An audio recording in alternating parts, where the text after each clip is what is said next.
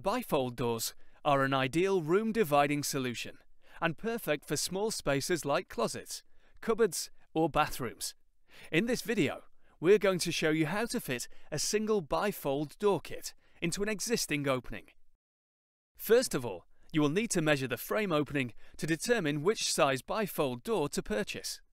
Measure inside the door opening at three points horizontally and also vertically on the left and right side. Bifold doors are made undersized to allow for operation. Therefore, the sizes quoted are to fit standard opening sizes. Please note, bifold doors should not be trimmed. There's a wide choice of door styles, sizes and finishes to choose from. Before you begin, check you have your contents pack. All the parts you need are included in the kit. The track is supplied attached to the door and will need to be removed before fitting. Refer to your fitting instructions to ensure you have all the tools required. To get started, you will need to position the metal top track 19mm back from the front edge of the door frame. To determine which way to position the track, you will need to decide which way you want the door to fold, either to the left or the right.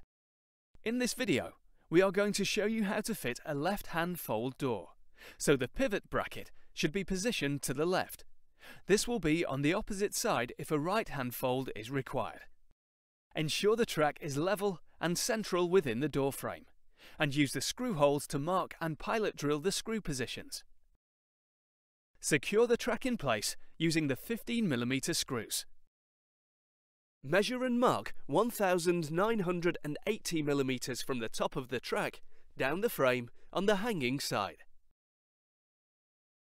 Measure and mark 19mm from the inside edge of the frame backwards to position the bottom pivot bracket. Secure in place with three 35mm screws. Slot the plastic pivot retainer into the bottom pivot bracket. Offer the door up to the opening to identify where to position the top pin pivot and top roller guide. Refer to the diagram in your fitting instructions for positioning.